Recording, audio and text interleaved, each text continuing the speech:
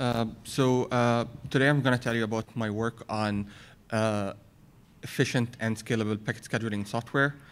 Uh, the work was done in collaboration with my advisors and colleagues at Georgia Tech. It was also done in collaboration with colleagues at Google and Carnegie Mellon University. So before I tell you about the details of the work, let me give you a little bit of context. This work can be implemented in multiple settings, but let's focus on the data center setting.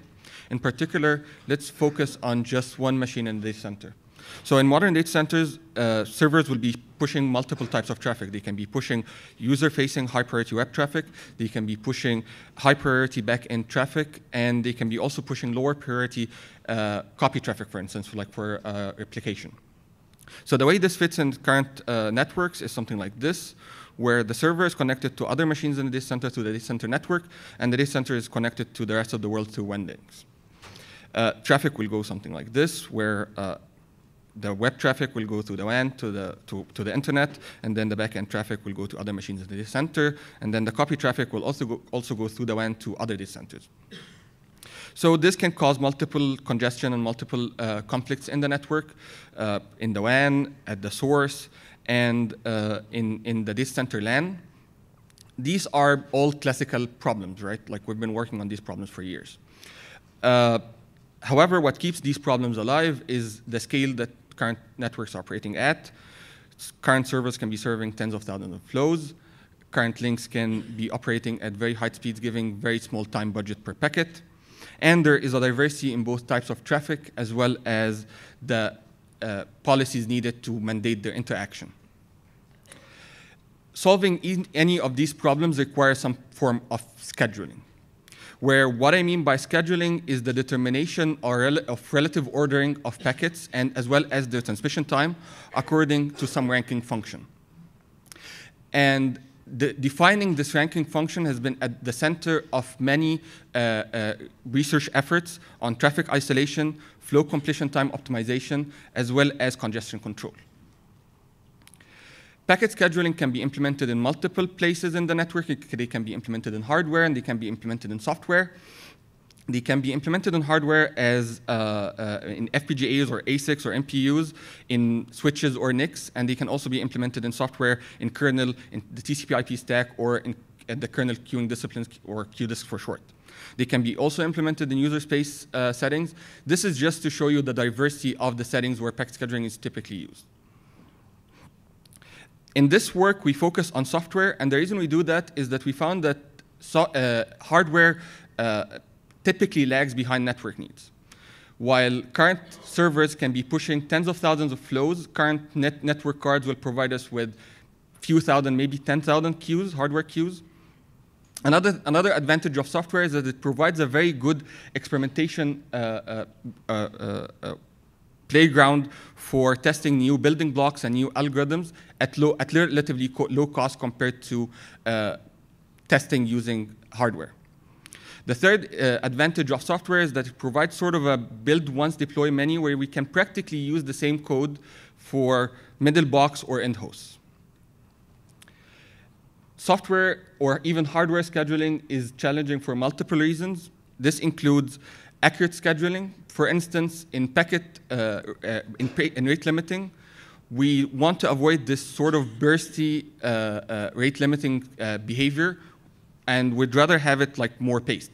But this leads to higher CPU utilization, which leads us to the second challenge. Keeping the CPU and memory uh, overhead of software schedulers is a challenge, and as the overhead of uh, software schedulers or even hardware schedulers are typically order log n, where n is the number of packets scheduled or flows scheduled, which makes the overhead of the scheduler a function of the load. We'd rather have it as a function of the policy, where regardless of the load, the overhead of a specific policy is constant. The third, the third challenge is the diversity of requirements. Modern uh, network operators would like to be able to implement multiple scheduling policies, for instance, uh, hierarchical scheduling policies, uh, strict priority policies, rate limiting, or even experimenting with uh, other uh, uh, ranking policies, ranking functions like shortest remaining time first. This led us to our objective, which is designing an accurate, efficient, and programmable software scheduler. For the rest of the talk, I'm going to tell you how we did this First, I'm going to tell you uh, about the scheduler architecture and, how, and what parts of the scheduler architecture we focus on in our work on Eiffel. In order to explain how we arrived our, at our optimizations, we're going to examine a little bit the characteristics of packet ranks, which will lead us to uh, the efficient building block for Eiffel, which is the integer, integer priority queue. And finally, I'm going to tell you a little bit about uh, how we use the efficient building block to extend the programmability of software schedulers, as long, along with some uh, brief uh, uh, introduction of our evaluation. So uh, packet schedulers look something like this, where you have uh, flow sources sending packets to some annotator that that annotates packets with the rank according to the ranking function. Then packets are enqueued to a priority queue where packets are ordered according to the rank. Then they're sent out in order to the NIC the annotator as well as the queuing data structure can change according to uh, the scheduling policy. Different scheduling policies can will change this architecture a little bit. In our work in Eiffel, we focus on two components, particularly the queuing data structure, because that's where most of the CPU overhead is, and the scheduling policy description, which gives us the flexibility to accommodate diversity.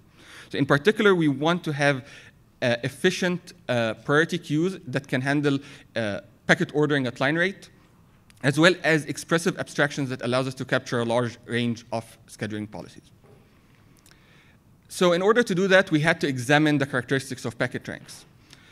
The first characteristic, which is quite obvious, is that packet ranks, are integers, typically represented by a finite number of bits, let's say W bits.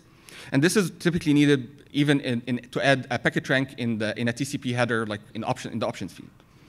This is true for almost all types of packet ranks, like QoS-based priority uh, or cross-based ranks, time-based ranks, or flow size-based ranks. The second characteristic is that packet ranks have known ranges. Within the expressive uh, uh, uh, expressiveness of uh, W bits from 0 to 2 to the power W, we're typically interested in a small range within the, within the general range. For instance, in time-based priorities, we're only interested in ranges from now to a few seconds in the future. We're not interested in scheduling packets in the past, and we're not interested in scheduling packets more than a few seconds in the future. We're also in flow size-based priorities. We're interested in a small uh, range that is de de dependent on the typical behavior of applications in the, uh, in the network we're operating on. The second characteristic, the, sec the, third example is strict priority, where the ranges are typically defined by the policy or the network operator. The third characteristic of packet ranks is that packets are processed in batches. This is, this is sort of a byproduct, but it's important. Uh, while applications can push uh, traffic at high speeds and network cards will require packets at a high frequency, there is typically this unavoidable sort of latency for the network processing system. This requires the network processing system to process packets in batches, rendering packets within the same batch to have virtually the same rank. This means that we don't care really about small differences in packet ranks. And these three characteristics lead, leads us to the following interesting observation, is that bucketed data structures are very useful to provide accurate scheduling. Another thing is that with limited range of integer uh, rank values, we have a limited number of buckets.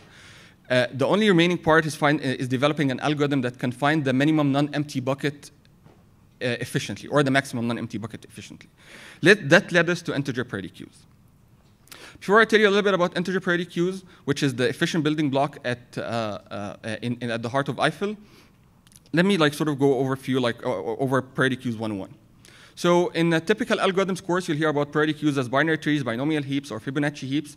They look something like this, where you have a, uh, the minimum or maximum element at the root. They support uh, efficiently uh, extract min or extract max. Their overhead is typically log n for insertion, extraction, or both. And they typically require like simply defining uh, a comparison operator. They're, they're generally called comparison-based uh, priority queues, and they're very powerful because they, they are very generic. However, we know that packet ranks are more specific. So this gets us to integer priority queues that look something like this. They're bucketed data structure of n buckets. Buckets are indexed based on the priority, this makes the in, uh, overhead of insertion or changing the priority order one because you simply look up the bucket by its index. Also, they, can, they support order log to the base W of n uh, for extract min or extract max. There are better bounds in, in, in, theory work, but this specific bound is important because it can be very efficiently implemented in software. And, and if you take a look at, at these uh, characteristics of integer priority queues, you'll see two things. First, the overhead of the priority queue is determined by n, where n is the range or the number of priorities we have, which is a function really of the, uh, of the uh, scheduling policy, not a function of the load. Also, it's mandated by the, uh, the number of bits taken to represent the priority.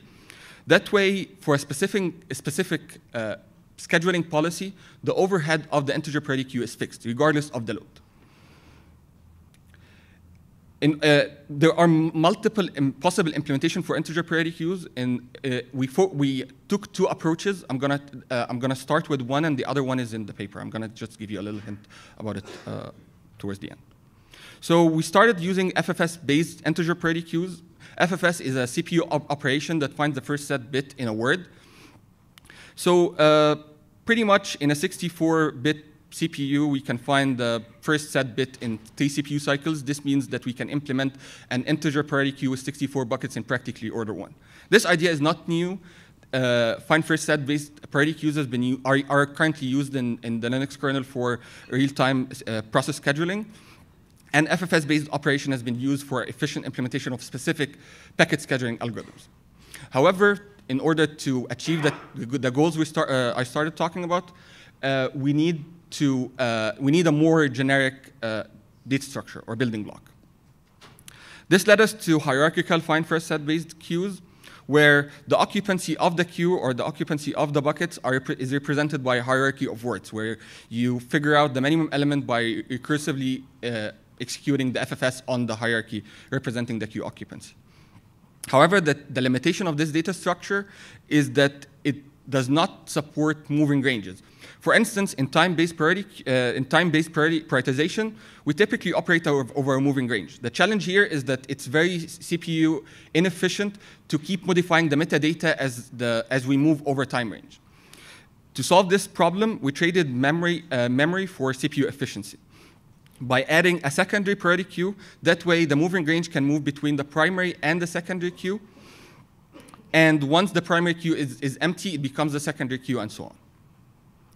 This leads to uh, uh, a relatively small memory footprint because the uh, memory takes to store the buckets as well as the metadata is quite small compared to the packet overhead. As well as it allows us to uh, implement order log to the base W here, W is 64 of n, where n is the number of uh, priorities. In the paper, we, uh, we, we present a second type of priority queues that, that relies on approximation and provides order one insertion and extraction for specific cases, uh, but for time, I'm not going to talk about it here. The second interest in Eiffel was to extend the expressiveness of, scheduler, uh, of programmable schedulers. From that, we start from uh, earlier work on, on the PIFO programming model. The PIFO, PIFO stands for push in first out queues. PIFO was uh, presented by Anirudh three, three years ago. It represents uh, policies as a hierarchy of priority queues uh, where packets are ranked individually on in queue. Scheduling and shaping are tightly coupled in the nodes of the hierarchy. And all of this is implemented in hardware, uh, which limited the expressiveness uh, uh, of, as, as well as the scale of the system. In Eiffel, we wanted to extend this so particularly, we make three, three extensions. The first one is that we allow packets to be uh, ordered based on their individual ranks as well as the flow rank. We also allow packet ranks and flow ranks to be done on enqueue and dequeue, and we decouple shaping and scheduling. This seems a little bit dry, so I'll just focus on with an example on the first extension. The rest of them, you can see the details on the paper. So an example of this, uh, the example we use here is pfabric. So uh, pfabric achieves near optimal uh, flow completion time, uh, and it uses shortest remaining time uh, first uh, ranking of packets. In order to prevent starvation, pfabric allows packets belonging to the, to the flow with the smallest rank to go out first. In particular, in this example, the blue flow has uh, a packet rank 60, so all of the blue flow packets go first. However, if the red uh, flow gets a packet rank 40, then something like this has to happen all, all packets belonging to the red flow has to go out first. Uh, this requires reordering packets already enqueued in the, in, in the structure, which was not supported the, by the PIFO model. the way we uh, extend the PIFO model in order to allow this is by allowing packets to be ordered based on their flow rank. In particular, we allow something like this. So packets within the same flow are ordered in a FIFO manner, where every incoming packet will update the flow rank. That way, when the, uh, when the red flow gets a new packet, it will simply change its, its rank within the priority queue, and we've already discussed that integer priority queues achieve order one uh, for, uh, for changing the priority. Uh, in, in the paper, we uh, evaluated this in multiple settings. We evaluated it in user space setting, in kernel setting. We compared it to multiple state-of-the-art schedulers. But in, uh, in the slides, I'm just going to focus on the pfabric implementation. We implemented uh, uh, a pfabric instance using binary heaps and using Eiffel uh, in BESS that uh, we experimented in lab machines connected with 10 gigabit per second uh, uh, links, and we deployed on a single core just to test the capacity of a single core. This is the result we got where the x-axis is the number of flows and the y-axis is the aggregate rate of all flows. Ideally, we want this, uh, uh, this graph to provide like sort of a, a, a straight line where the aggregate rate is independent of the number of flows. However, what we get is that with Eiffel, we improve the maximum, uh, the capacity of the system by 5x in terms of the number of flows it can support. Uh, with this, I'm going to, uh, to conclude my, uh, my talk. I think the two high-level uh, takeaways from our work in Eiffel is that Eiffel will allow packet, uh, network operators to implement packet scheduling in uh, or more diverse set of packet schedulers in uh, end hosts as well as middle boxes. And we also think that the advantages of Eiffel motivate rethinking the building blocks of packet scheduling and hardware. Thank you.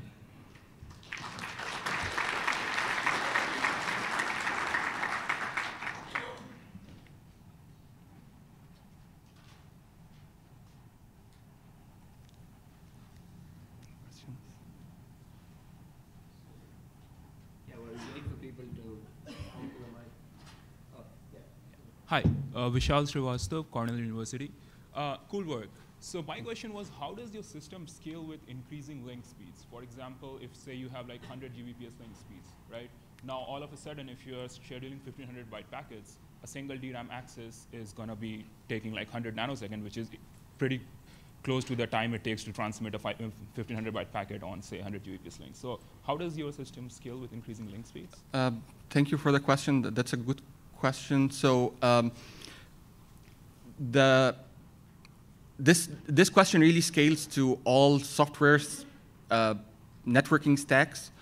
Uh, and, and typically what happens is that if you want to scale to larger line rates and you hit the capacity of a single core, you will, you will move to, more, to add more cores.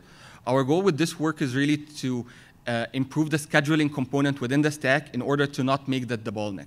So this is based on our observation that one of like deploying or the the or the bottleneck or the uh, roadblock uh, in front of deploying complex scheduling policies is, is really this problem, like the overhead of the individual uh, scheduling policy.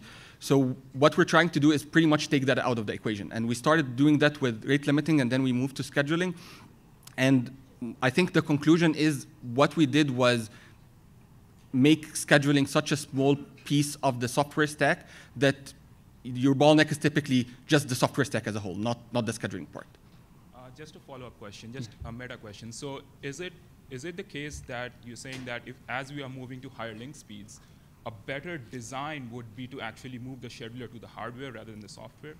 Is that the conclusion? Uh, well, that's, that's a very good question. That's sort of a tough question. I think in general, uh, or at least that's my personal belief, is that all of the experimentation in software, and this is sort of what I said in the talk, all of the experimentation we do in software is, is sort of a precursor to finer deployments in hardware.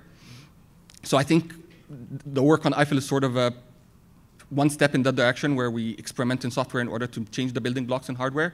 But whether we want to end up building, building uh, the building components in software or hardware, that's a much bigger question beyond the scope of this work. Thank you very much. Thank you.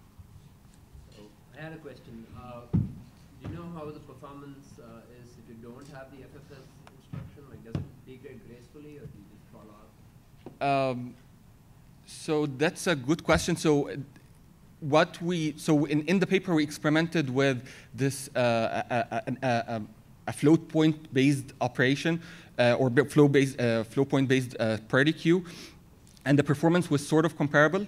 However, the FFS based operation is like adds uh, improves its performance significantly. Uh, one, one good observation here is that the FFS operation is. So in, in the paper, we experimented with this uh, a, a, a, a float point based operation uh, or flow, based, uh, flow point based uh, priority queue, and the performance was sort of comparable. However, the FFS based operation is like adds uh, improves its performance significantly. Uh, one, one good observation here is that the FFS operation is really supported in almost all current CPUs, even special purpose ones. So it's, uh, it's a really efficient operation. Yeah, I guess the corollary to that question, if you had like a more beefy FFS instruction to do it on say 128 bits instead of 64 bits, do you know how much the performance would improve? Um, I would say, so the one, one thing that we hit, one, one, one sort of uh, block that we hit here is that we, we think that CPU efficiency with even a small FFS-based queue is, is quite good that we start running into memory problems. So I think even if we uh, increase the, the number of bits that the FFS-based queue supports, we'll still run into memory problems of fetching packets and, and, and, and these sort of, uh, and, and, and cache misses and these sort of problems. So, uh, so I don't think it will add a big improvement, unless it's coupled with uh, a very fast memory.